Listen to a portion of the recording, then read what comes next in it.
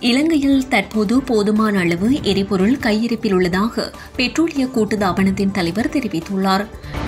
இலங்கையில் சமையல் எரிவாயு விநியோகத்தில் ஈடுபட்டு வரும் லிட்ரோ நிறுவனத்தின் எரிவாயுவுக்கு தர நிர்ணயம் இல்லை என்று நீதிமன்றில் அறிவிக்கப்பட்டுள்ளது. நாடாளுமன்ற உறுப்பினர் நசீர் அகமட்டினை கண்டால் கூட்டி வாருங்கள். நான் விவாதத்திற்கு தயார் என தமிழ் தேசிய கூட்டமைப்பின் நாடாளுமன்ற உறுப்பினர் ரசானகியன் தெரிவித்துள்ளார். தற்போது நடைமுறையில் உள்ள சுகாதார வழிகாட்டுதல்கள் மேலும் பதினைந்து நாட்களுக்கு நீடிக்கப்பட்டுள்ளதாக சுகாதார சேவைகள் பணிப்பாளர் நாயகம் அசேல குணவர்த்தன தெரிவித்துள்ளார். தனது காதலுக்கு சம்மதம் தெரிவிக்காத காரணத்தால் யுவதியின் மீது இளைஞன் துப்பாக்கிச்சூடு நடாத்தியதாக கூறப்படுகின்றமை அதிர்ச்சியினை ஏற்படுத்தியுள்ளது. விசேட ஜனாதிபதி ஆணைக்குழுவின் அழைப்பானை முழு சிங்கள மொழியில் மாத்திரம் இருந்த காரணத்தால் அதனை ஏற்க மனோகணேசன் மறுத்துள்ளதாக தெரிவிக்கப்படுகின்றது.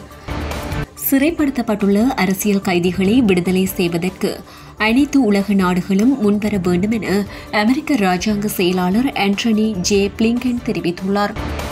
அரசு தலைவர் கோட்டாபய ராஜபக்ஷவின் நிலைபெறான விவசாய கொள்கை திட்டமிட்ட வகையில் பலவீனப்படுத்தப்பட்டுள்ளதாக நாடாளுமன்ற உறுப்பினர் அத்துரலிய ரத்னதேரர் குறிப்பிட்டுள்ளார்.